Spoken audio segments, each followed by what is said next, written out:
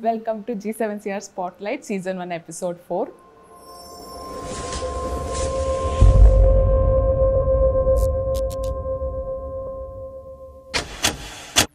hi Kavita ಸ್ವಲ್ಪ ನಾಟಿಲಿ ಇವತ್ತು ತುಂಬ ಚೆನ್ನಾಗಿ ಕಾಣಿಸ್ತಿದ್ದೀರಾ ನೀವು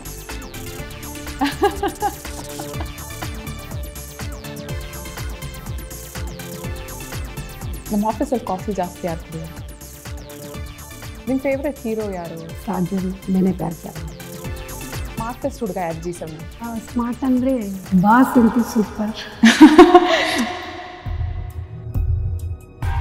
ಮದುವೆ ಆದಮೇಲೆ ಲೈಫ್ ಚೇಂಜ್ ಅಂದರು?